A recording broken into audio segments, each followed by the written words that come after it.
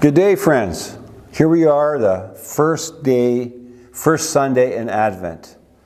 And so I think it's appropriate for me to say to each and every one, from me and my wife to you, Merry Christmas. Merry Christmas.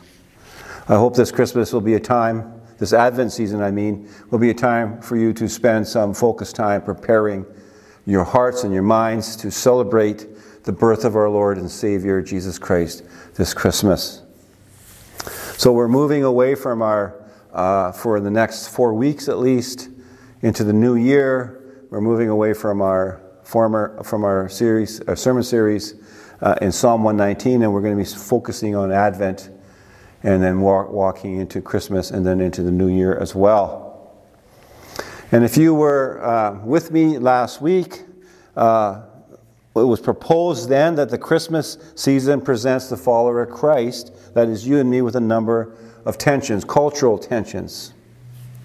And one of the prominent realities we all face of our culture here in the West revolves around the consumption of goods and services during the Christmas season. We know and understand that the, the impact that Christmas season has on the economy it's a time when many small and even large businesses bring in a large, bring in a large portion of their annual revenues. And a robust spending by co- consumers at Christmas brings a ripple effect to the larger econ- economy of the country. And vice versa, the opposite is true. That is, less spending by consumers at Christmas also has a ripple effect into the larger economy. This is all about bottom lines and expenses and profits and in some cases, whether a business will survive into the new year. But this begs a question as we begin this Advent uh, preparation. Have you ever wondered how much money people spend overall during the Christmas season? You might understand how much money you spend, you might know that, and I hope you know, but overall, well, Zippia.com after doing their research on the American holiday spending, revealed their findings based on 2022 Christmas shopping season. And the average spending in 2022 for each person in the States was $932. It seems that they're very specific here. And total gift spending in 2022 was $178 billion in the States. And when we consider the amount of money spent on gifts from 2006 to 2022, the amount had increased by 12.8%. And when we look at the overall picture, it is somewhat startling. For uh, the um, research revealed that one in three Americans said they will spend more than they can afford. And um, the numbers really do prove it. For the average indebted Christmas shopper will owe, on average, $1,200. Now, here in Canada, before we stick up our uh, Canadian noses in the air and think we're better off, consider with me the average Canadian household debt in Canada, not including mortgage. So, this is unsecured debt, credit cards, etc. If you have any guesses, fine, think about that, but the answer is somewhat startling. Actually, quite startling. $41,500 is the average Canadian household debt.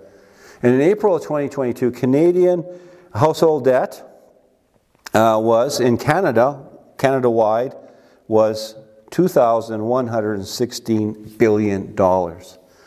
Wow, Canadians are buried alive in consumer debt. Someone once said that the Christmas season is often, quote, driven more by fear and obligation, manipulation, and personal preference than goodwill toward men. And it's motivations like these that distort Christmas gift buying into some sort of appeasement offering. Well, with this in mind, let's turn to our text for today, which is found in the Gospel of Luke, uh, chapter 12, and we'll be reading together from verse 13 to 21. Verse 13 to 21. Luke chapter 12, verse 13. Someone in the crowd said to him, Teacher, tell my brother to divide the inheritance with me. But he said to him, Man, who made me a judge or arbitrator over you? And he said to them, Take care and be on your guard against all covetousness, for one's life does not consist in the abundance of his possessions. And he told them a parable, saying, The land of a rich man produced plentifully. And he thought to himself, What shall I do? For I have nowhere to store my crops. And he said, I will do this I will tear down my barns and build larger ones, and there I will store all my grain and all my goods. And I will say to my soul, Soul, you have ample goods laid up for many years. Relax, eat, drink, be merry. But God said to him, Fool, this night your soul is required of you and the things you have prepared, whose will they be?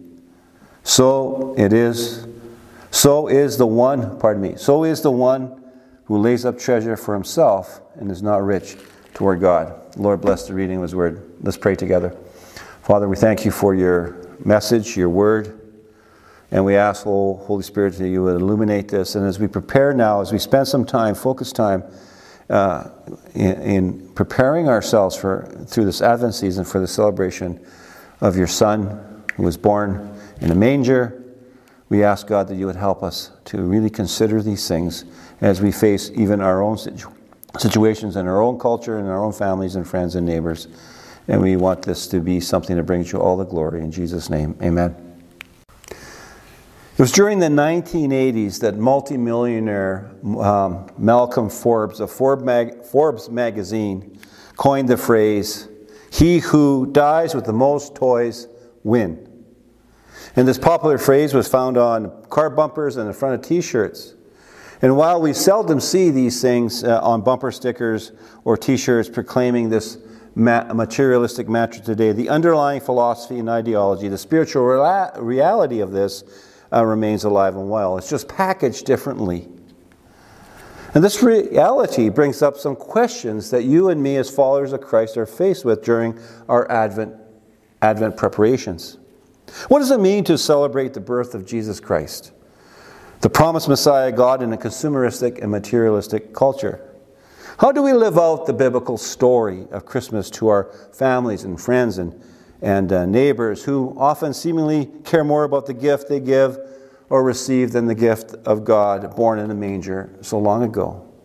How do we live out the biblical story of Christmas in our shopping and in our traveling, in our gift buying and giving, in the way we spend money and the way we accumulate debt this Christmas? Well, the parable that we just read would be a good place to start in putting together some answers to these questions and a way forward for you and me this Christmas season. So, as we look at this text, uh, this text before us is typically referred to as the parable of the rich fool or the rich landowner. Finds itself among the exhortations of Jesus here immediately before concerning the hypocrisy of the Pharisees, scribes, and teachers of the day, the rulers, the religious rulers of the day of Jesus in Israel. And there, Luke is recording the events and sayings of Jesus from a different perspective, of course, than the other Gospels. But we are reminded that Luke uh, told us, or said in the very beginning of his Gospel, Luke chapter 1, verse 3, that he was preparing an orderly account. We want to camp around a little bit around Luke chapter 11, verse 37 to 53 to give us some context. We see here Jesus repeatedly making uh, beginning his comments to the Pharisees and scribes and teachers with this introductory phrase Woe to you! You see this throughout here. They were not words of endearment, my friends. So, in summary, Luke chapter 11, verse 37 uh, to 50 feet reveals to us what we see in today in many circles, and sadly also in the church. The Pharisees and teachers and scribes Jesus called out had replaced the truth of the Word of God with rules and regulations that God had not commanded anywhere in the Bible. In other words, they replaced the truth of God's word with their own selfish desires. There were things that they were neglecting. We see this in verse 42 of chapter 11. They were negle- neglecting the justice and love of God. And in their pursuit of power and prominence, uh, we find that they had placed huge burdens on the people of God in that pursuit. And we see this in verse 46 of chapter 11. And after Jesus then had called out these religious rulers and teachers, we find, as we see here in chapter 12, as it begins, that large crowds began to gather around Jesus. And this was typical of Jesus' day, for Jesus was a popular, uh, popular person, and many people would follow Jesus and be around him in these times. But before he even looks at and addresses the, uh, the crowds, he turns to his disciples because he still has the Pharisees and teachers and scribes on his mind. And he said to his disciples, Beware of the leaven of the Pharisees, which is hypocrisy. Verse 12, uh, chapter 12, verse 1. And then moving on, we see Jesus exhorting uh, the disciples and the people uh, to, with the, the attitude we should have, this fear of God that we should have in the face of trials and tribulations. That's verse 4 to 5 in chapter 12. We also see the importance of the public acknowledgement of you and me publicly acknowledging the Messiahship, that Jesus is our Lord and Savior and the Savior of the world publicly.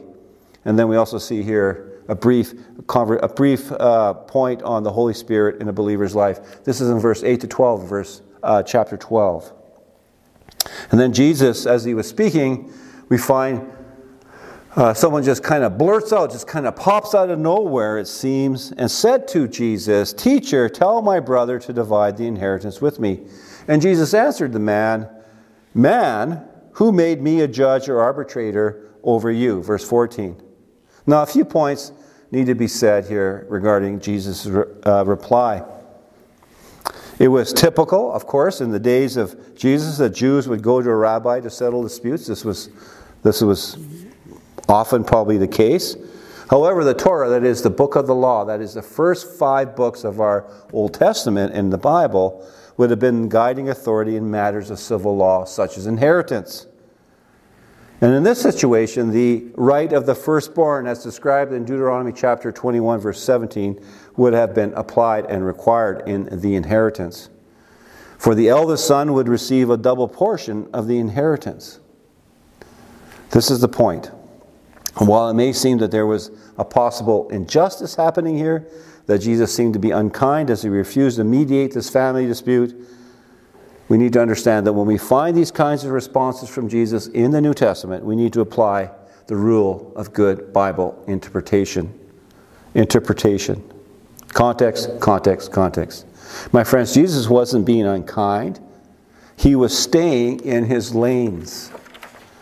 The Word of God, the Bible, reveals that one of the roles of, of Jesus Christ is that he is the judge of the whole world. He will come one day to judge all living things, all living people, and dead. He'll judge the whole world. Jesus said of himself in John's Gospel, chapter 5, 22, For the Father judges no one, but has given all judgment to the Son. Why? Well, he continued to say that all may honor the Son just as they honor the Father who sent him. John 5, verse 23. mean, Jesus, friends, did not come to settle earthly disputes. This was a matter for the civil authorities. Jesus was staying in his lanes as the promised Messiah of God. And this brings us to verse 15. Now he turns to the crowds and he said to them, Take care and be on your guard against all covetousness, for one's life does not consist in the abundance of possessions. This word covetousness that the ESV has translated, the original word, can also be translated greed.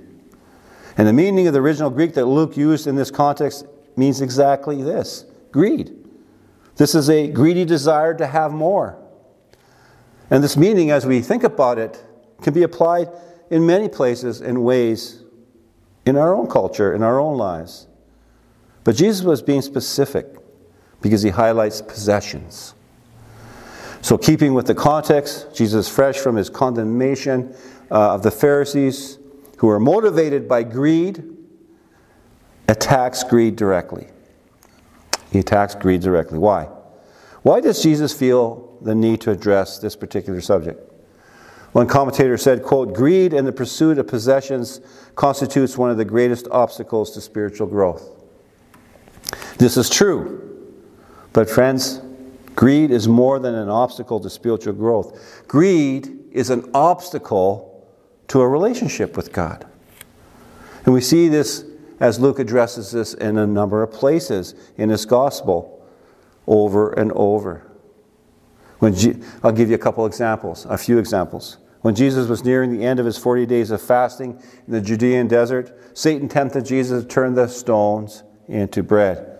And Jesus said to Satan, It is written, Man shall not come by bread alone, but by every, not live by bread alone, but by every word that comes from the mouth of God. There, Jesus quoting from the Torah, Deuteronomy 8, chapter 3.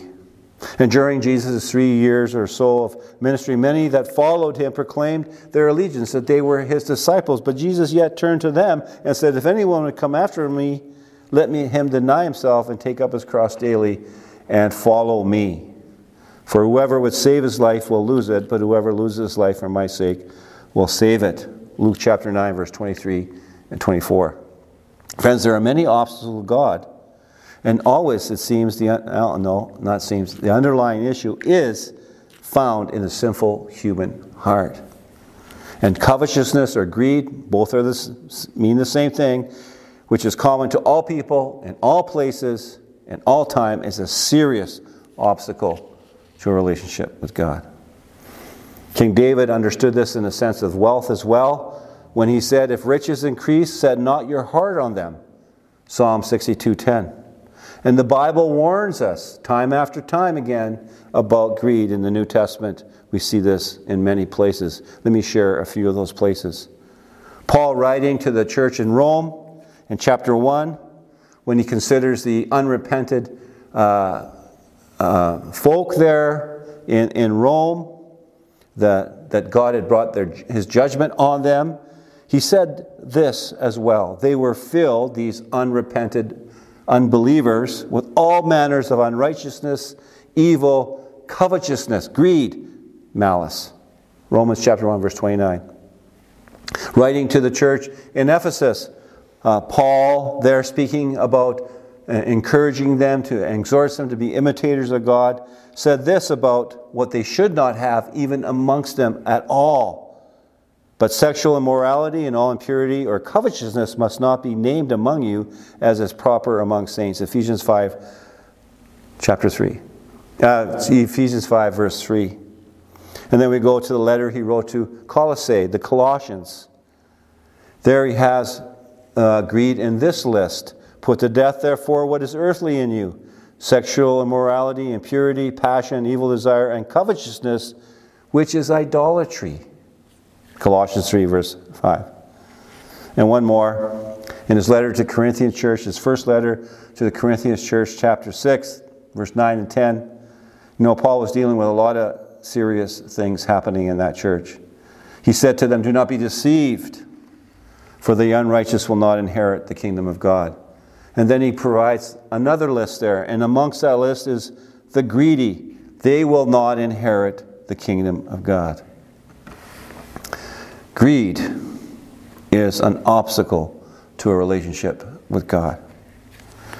Moving on to verse 16 to 20, we see, as we just read together just moments ago, Jesus tells one of his many parables that we find in all four Gospels. Now, uh, now, time is not on our side to deal fully with how and why Jesus taught with parables, but suffices to uh, say at least we have a, a good definition. Harper's Bible Dictionary defines biblical parables as, quote, parables are very short stories with a double meaning. Another commentator defines Jesus' parables as, quote, stories that were, that, uh, were cast alongside a truth in order to illustrate the truth. So here in our text, we have one of Jesus' parables that he used to illustrate a truth, the parable of the rich fool. Let's read that parable together again. Starting in verse uh, 16. And he told them a parable, saying, The land of a rich man produced plentifully, plentifully. And he thought to himself, What shall I do? For I have nowhere to store my crops. And he said, I will do this. I will tear down my barns and build larger ones, and there I will store, store all my grain and goods, and my goods. And I'll say to my soul, Soul, you have ample goods laid up for many years. Relax, eat, drink, and be merry. But God said to him, Fool, this night your soul is required of you, and the things you prepare, have prepared, whose will they be? Whose will they be? You know, this is a story of a miser who, who loved his money more than just about anything else. And just before he died, he asked his wife uh, to place all his money in the casket with him. You see, he wanted to take all his money with him into the afterlife. So he got his wife to promise him. Well, the fateful day arrived, and there he was, stretched out in the casket with his wife sitting there in black. And when the ceremony was finished, just before the casket was closed, she placed a shoebox in the casket, and then the casket was closed. Later on, uh, her friend asked, asked, uh, asked her, I hope you weren't crazy enough to put all the money in there with that stingy old man. And she replied, Yes, I promised. I'm a good Christian. I can't lie. I promised him that I was going to put that money in the casket with him. And her friend replied, You mean to tell me you put every cent of his money in the casket with him? And the wife said, I sure did. I got it all together, put it in my bank account, and I wrote him a check. You see, just like the rich miser who tried to take all his money into the afterlife with him, the rich landowner of Jesus' parable reveals his miserly heart. While on the surface, you and I might say that the landowner was wise to deal with his bumper crop in the way he did, it was his desire, his attitude that was a problem, for he said to himself, Soul, you have ample goods laid up for many years. Relax, eat, drink, be merry. Verse 19. Please notice the personal pronouns that Luke uses in the text. Verse 17, what shall I do? Verse 18, I will store all my grain. Verse 19, I will say to my soul, I do, I will, I do. See, there's nothing in the landowner's language and attitude that reveals any awareness of stewardship or responsibility toward others. Paul, writing to his dear friend and co pastor, uh, Timothy, who was pastoring the, at this time of this letter the church in Ephesus, and in that church there were rich people, we know this, said this to Timothy to tell the church. As for the rich in this present age, charge them not to be proud, nor to set their hopes on the uncertainty of riches, but on God, who richly provides us with everything to enjoy. They are to do good, to be rich in good works, to be generous and ready to share, that storing up treasure for themselves is a good foundation for the future, so that they may take hold of that which is truly life. 1 Timothy chapter 6, verse 17 to 19. Back to our parable. No sooner than the landowner uh, said to his own soul, Relax, eat, drink, and be merry, God said to him, Fool, this night your soul is required of you, and the things you prepared, whose will they be? Verse 20. So, in a moment, all that the landowner had accomplished, all the hard work of ensuring his abundant crops would be harvested, was for nothing. Notice the phrase, Your soul is required of you. God said to this landowner, Your soul is required of you. My friends, this is the language of obligation. You see, the landowner was only interested in himself, his accomplishments, his successes. His attitude revealed his blind spots, his foolishness. For indeed, the landowner owed his very life, his business, his wealth, his eternal destination to God. The landowner owed his very soul to God. And the greater tragedy is that the landowner, landowner I'm starting to lose my voice here, lived his life with no awareness of eternity. With all his business wisdom, he was unwise in his preparation for eternity. Someone said about someone once said about possessions, quote, possessions are like light beer. They may taste great, but they are really less filling. And I just want to be clear, Jesus was not saying the possessions are bad, but he was saying they are less filling. One day, there's another story from Luke's Gospel. One day, uh, one of the religious rulers of Israel, a Pharisee, went to see Jesus during the evening watches. Of course, he couldn't go see him during the day, or else people would ask him why. But, anyways, I digress. He had one question for Jesus, and this was a really good question. He asked Jesus, Good teacher, what must I do to inherit eternal life? This is in Luke chapter 18, verse 18. Jesus reminded the ruler of the commandments. He said, Do not commit adultery, do not murder, do not steal, do not bear false witness, honor your father and your mother. And the ruler replied, all these I have kept from my youth. And Jesus replied to him, One thing you still lack sell all that you have, distribute to the poor, and you will have a treasure in heaven, and come, follow me. So, how did this rich ruler respond? When he heard these things, he became very sad, for he was extremely wealthy. And then Jesus said this How difficult it is for those with wealth to enter the kingdom of God. Luke chapter 18, 24. Back to our text. Jesus finished his parable, turned to the crowd, and basically said the same thing he said to the rich ruler, just in a different way. He said, So is the one who lays up treasure for himself and is not rich toward God. Verse 21. Here is the biblical truth in the parable of the rich fool. So, so may I ask you, does God want your money? Doesn't need your money, but does He want your money, your possessions, your wealth? Does God want you to not buy a gift for your wife this Christmas or for your grandchild or for a friend? Does God expect you to sell all you have and give it away? No. But maybe yes. One of the most popular Christmas stories for a long time is the Christmas Carol.